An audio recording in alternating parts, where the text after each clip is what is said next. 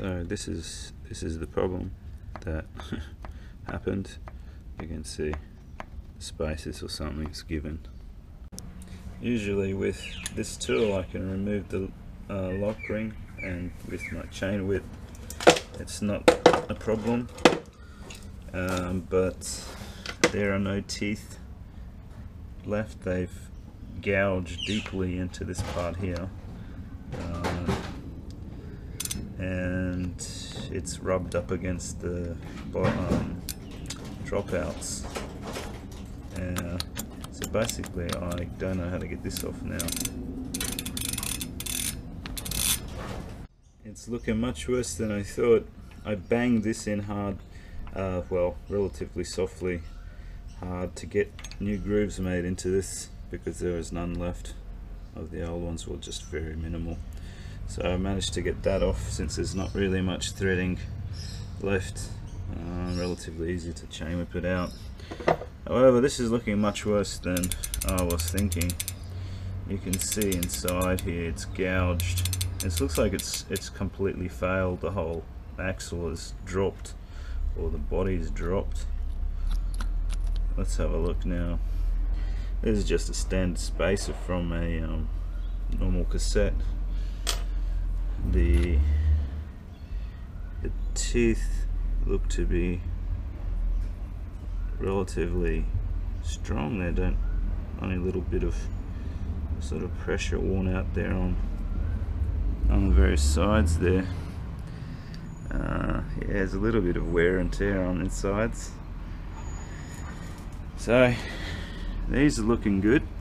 These hardened chromo 20 teeth six hole single speed jiggies these spaces as well let's see how they come out all right looking all right they're just spaces anyway they don't they're not squashed Alright, so they're not squished up. Is this bent, thinned out somewhere? Anyway, I'm gonna have to inspect it in another way. The body, these gouges are from from running the uh, a cassette. It's a second-hand bike, so they're not from me. Or if it was only a very small amount of time that I used a cassette on this at low power. You can hear that though, that's quite crappy. This is, here is the problem, this this worn out section that's lost quite a lot of material there um, I'm not sure what to say now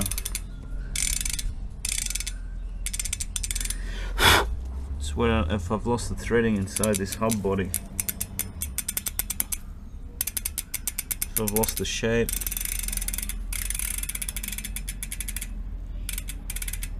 There's a lot of material left in there. I'm not sure if this is supposed to have that much play, play on it. Have I busted the bearings inside or what is loose? I'm going to have to get the tools to remove this. I don't have the tools to remove the body. But you can see that's that's a lot of wiggle happening there. Not looking good boys, not looking good.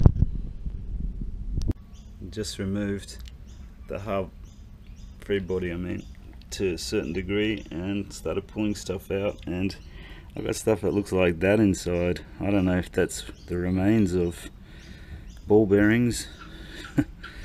that looks absolutely shot inside there's a whole heap of crap in there and I've got no no idea how to uh, put this back together even if I can find the parts so yeah these third-party nuts chainring nuts that I've been using have taken quite a bit of scraping.